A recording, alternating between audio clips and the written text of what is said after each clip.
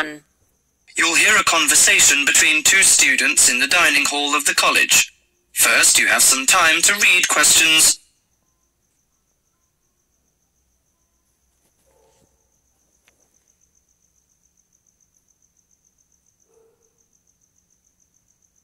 Now listen carefully to the conversation and answer questions. Hi, Max. How are you? Hi, Melanie. I'm fine.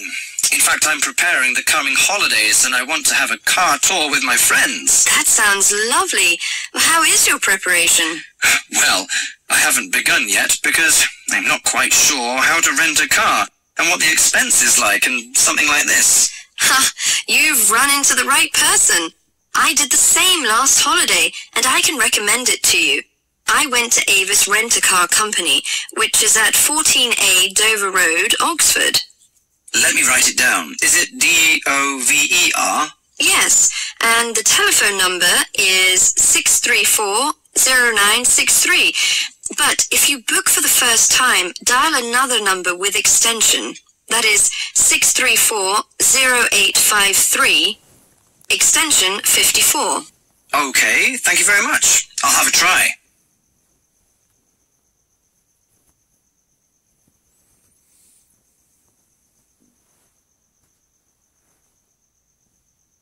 Before you hear the rest of the conversation, you have some time to read questions.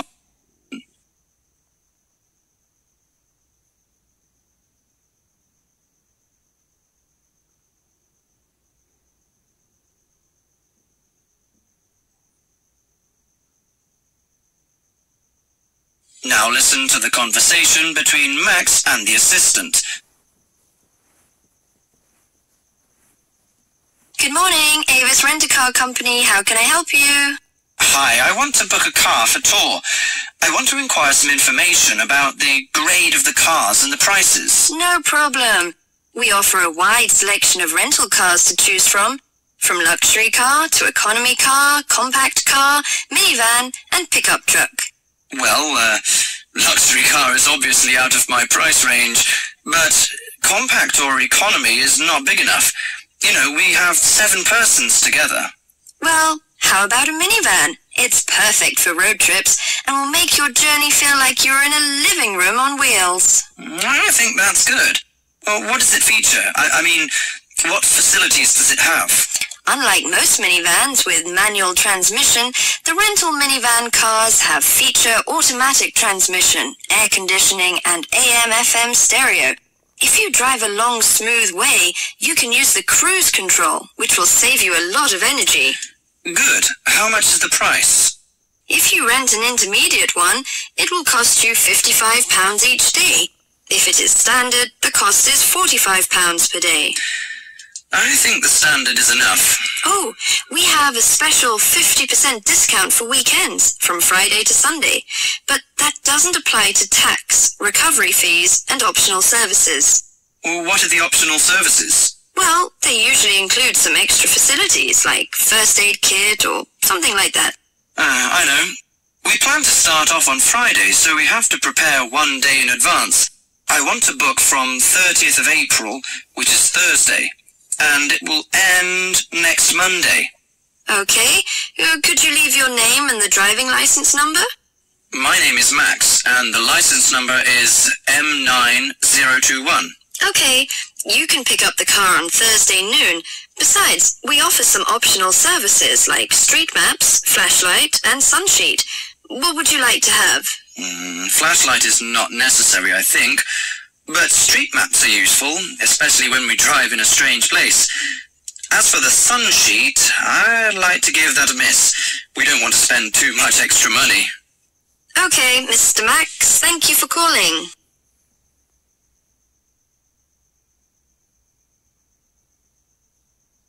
That is the end of part 1. You now have half a minute to check your answers.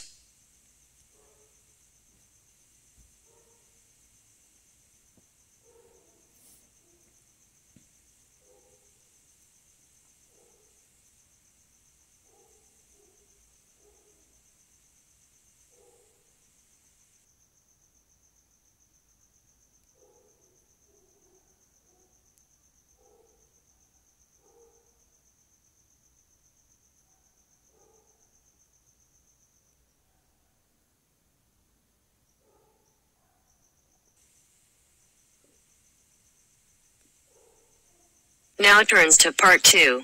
Part 2. You'll hear a radio program on the process of making beer. First, look at questions 11 to 14.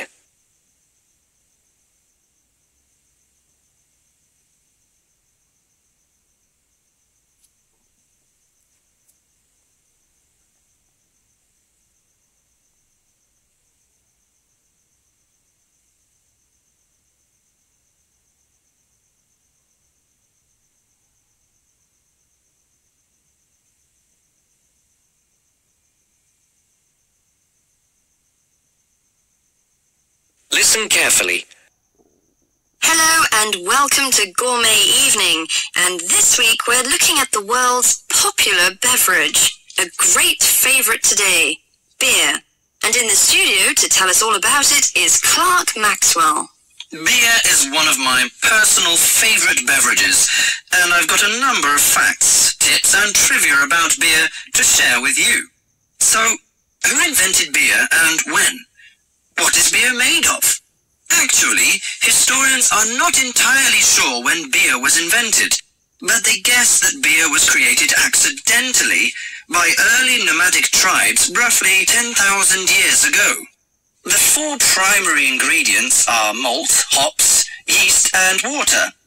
Malt, which gives the beer a sweet taste, is made from barley soaked in water until its husks open and sprout.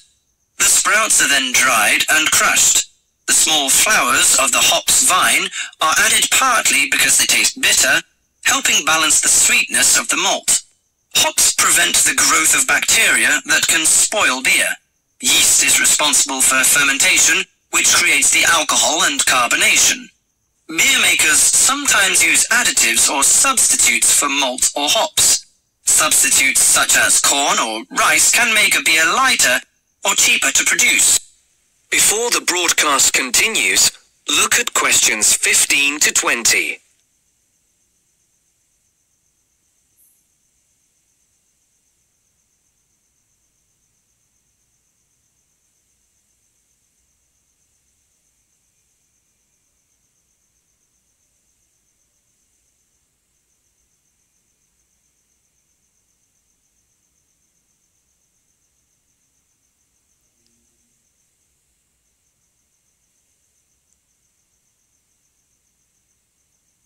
You will now listen to the second part of the talk. Adding fruit gives beer a fruity taste. Beer is not high in alcohol, as we know. The lowest type, light beer, contains no more than 2% alcohol, and the highest may reach 6%. Other drinks such as wine are more alcoholic. Wine contains 8 to 20% alcohol. But that is not to say drinking beer is no danger at all. Like all alcoholic beverages, beer can make it difficult to drive and think clearly.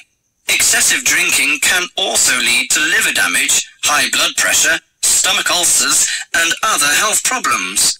However, beer also helps prevent some health problems when consumed in moderation. Beer contains a moderate number of vitamins and minerals. Studies have shown that small amounts of alcohol can reduce the risk of heart disease. Beer also contains selenium, a mineral that promotes bone growth and helps reduce the risk of osteoporosis. I suppose many of you think beer can give you a beer belly, but you are mistaken. Genes determine how fat is deposited. No food or drink can create fat deposits in specific areas of the body. As with all foods, the more calories you consume, the more likely they are to be stored as fat and cause weight gain. Beer contains no fat and averages 150 calories per serving. Well, one more thing. Pay attention to the storage and containers of beer. They will affect its taste. It's a mistake that the taste of beer improves with age, like that of some wines. Beer is a food product that will eventually become stale. It should be stored in a cool, dark location before consumption. And the color of a bottle can influence the flavor. Brown bottles block out light that reacts with the hops, which could damage the flavor. Green or clear bottles provide little or no protection from light damage. Do you know which country drinks the most beer? Although Britain even on the list of big consumers, Actually, the Czech Republic consumes the most beer, at 156 litres per person per year, followed by Ireland and Germany. That is the end of part two. You now have half a minute to check your answers.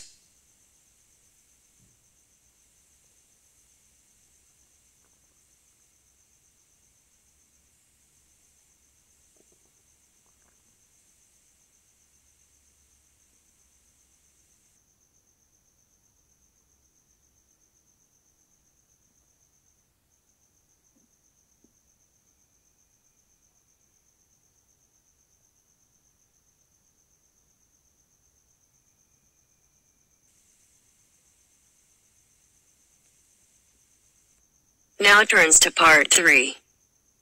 Part three. We'll hear a discussion between three students, David, Joseph, and Carrie. In the first part of the discussion, they will be talking about lounges in different school buildings on campus. First look at questions 21 to 24.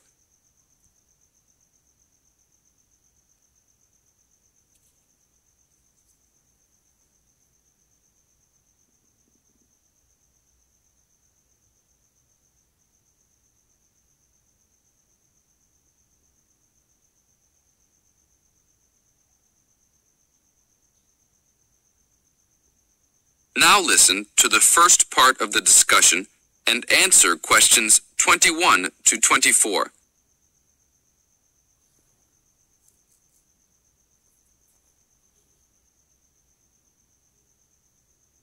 Hey, Joseph. Long time no see. How's it going? Oh, hey, David. It's going fine. I'm a little overwhelmed with all these new courses, but I'm hanging in there. Have you met my girlfriend, Carrie? No. Hi, Carrie. Hi, David. Joseph told me about you. You two had quite the time last semester in European history, I hear. Yeah, we like to hang out after class. Now, it's a little harder, though. Lounges aren't as good as they were back there in Wilson Hall. Yeah, they had chairs, couches, and tables to put your stuff on. And that lounge was full. There must have been 25 seats in there. Really? The lounge in Jones Hall, where I have my communications course, only has about 10 chairs. It's awful.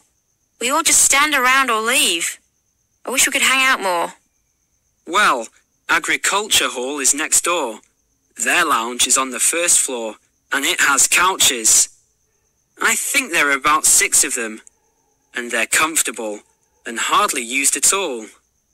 That's not a good idea. Thanks. But don't go to the lounge at Skidmore Hall. I don't even know why they call it a lounge.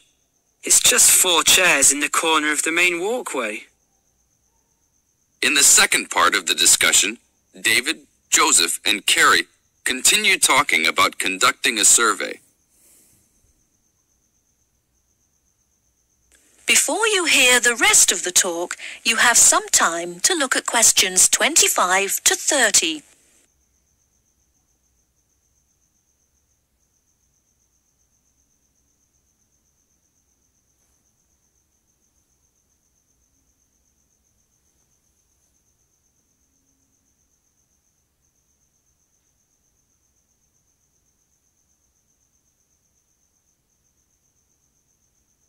Now listen and answer questions 25 to 30.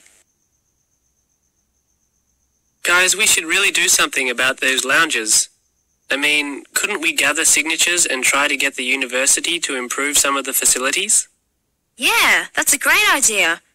But we can't just say something random like, oh, you need to make the buildings nicer. We should come up with some kind of ranking system and have students rank buildings, how beautiful they are, how nice they are, etc.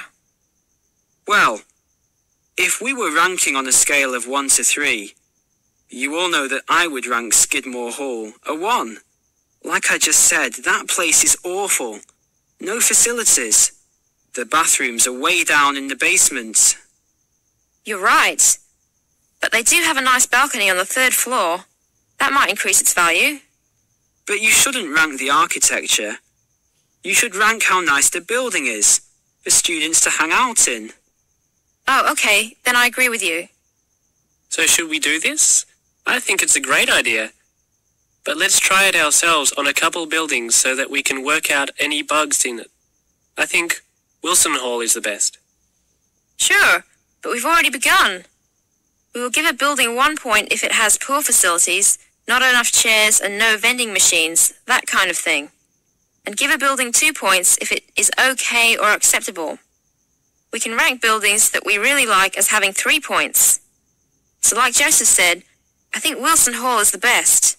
It should have three points for sure. And Skidmore has a one. Now what other buildings should we rank? How about Merris Hall? No, they're not done with that one yet. But it looks like that will be a good place to hang out. How about Agriculture Hall? You said something about that hall a bit earlier. Oh yeah? They have that lounge with couches that no one uses. But that might indicate that people don't hang out there for other reasons. They don't have any drink machines. That's why I never go there. Oh, well, then I think it's an average building. Let's give it the middle ranking. I agree. It could be improved slightly, but it's got a couple of nice features. I like that lounge in that third floor, for example, but the stairs are too short. I always trip when I'm walking up them. This ranking is getting complex. Okay, one building we haven't talked about is Canton Hall. What do you guys think of Canton?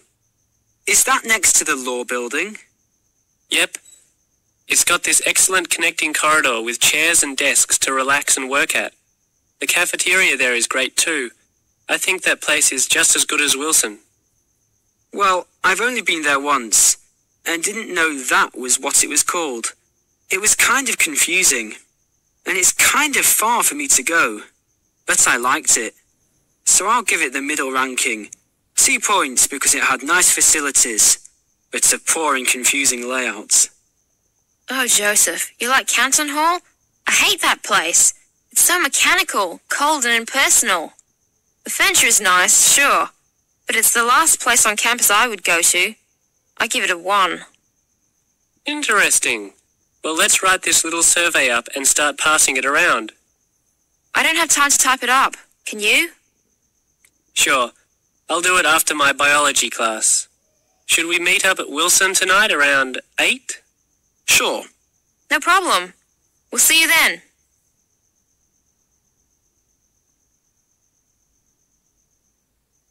That is the end of part 3. You now have half a minute to check your answers.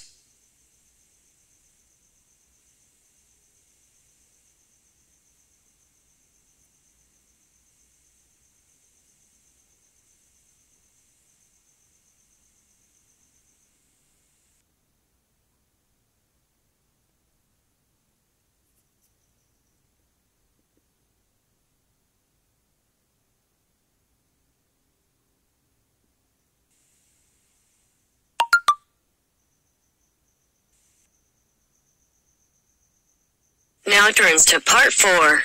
Part 4. You will hear part of a lecture about a crater in Australia.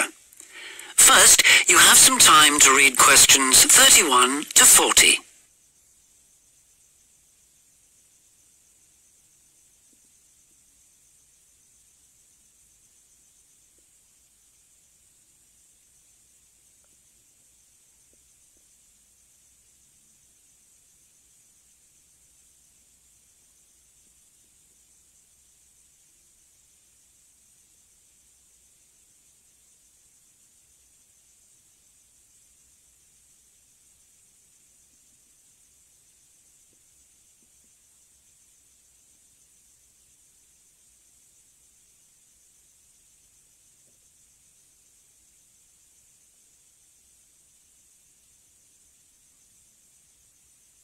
Now listen carefully and answer questions 31 to 40.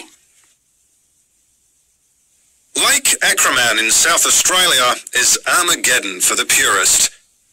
No other meteorite impact on Earth has stamped the surrounding rocks with such an abiding, unequivocal geological record of collision, earthquake, wind, fire and tsunami.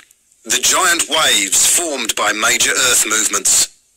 The story it tells is elemental, without dying dinosaurs or even Bruce Willis to complicate its simple message of destruction. First, the numbers. About 590 million years ago, a rocky meteorite more than four kilometres across and travelling at around 90,000 kilometres an hour slammed into an area of red volcanic rock about 430 kilometres northwest of Adelaide. Within seconds, the meteorite vaporised in a ball of fire, carving out a crater about 4 kilometres deep and 40 kilometres in diameter, and spawning earthquakes fierce enough to raise 100 metre height tsunamis in a shallow sea 300 kilometres away. Ancient, stable and unglaciated, the bedrock of Australia preserves some of the most photogenic impact craters in the world. Acraman is not one of them. Half a billion years of erosion has taken its toll. A salt pan surrounded by low hills is all that remains to mark the site of the cataclysm. The true nature of the place dawned on geologist George Williams of Adelaide University in 1979. Gazing at a sheaf of newly acquired satellite images, he saw the small circular shape of Lake Acraman surrounded by a ring of faults and low scarps 40 kilometres across, and an outer ring twice this size. A year later, he made it to the site. On islands near the centre of the lake, Williams found bedrock shattered in a conical pattern that experts consider a sure sign of a meteorite impact. Except for a crater, which had long since eroded, the area was a textbook example of an impact site. In 1985, further intriguing evidence turned up.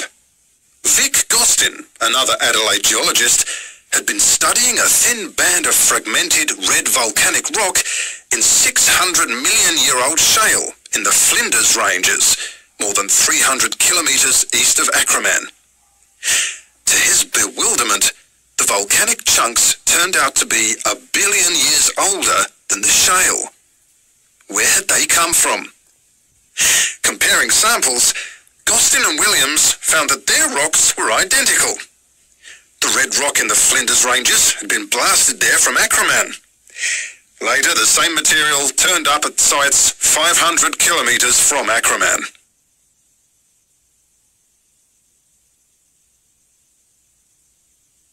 Everywhere, the bands of fragments showed the same structure. Coarse pebbles at the bottom, then a cocktail of silt and sand, then layers of increasingly fine sand distorted on top into a wavy, scalloped pattern. These layers also show, step by step, how the meteorite transformed the floor of an ancient sea, hundreds of kilometres away, according to Malcolm Wallace of Melbourne University. First came the earthquake. Travelling at about three kilometres a second, shock waves arrived offshore within a minute or two of the collision, stirring up the water with clouds of silt as the seabed shook. Then shattered rock from the explosion arrived by air. Pebbles and boulders crashed into the water, reaching a depth of about 200 metres within a minute. One day they would become the lower band of the Flinders Rock. Sand took up to an hour to come to rest, finally bedding down with the silt that was also now settling on the sea floor as the effects of the earthquake died away. This mixture would eventually form the next layer. About an hour after the meteorite's impact, huge waves rolled in, leaving the ripples on the surface that later hardened into rock. Clear as mud is not an oxymoron.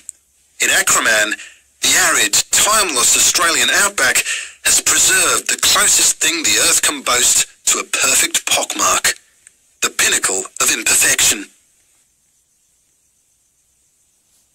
That is the end of part 4. You now have half a minute to check your answers.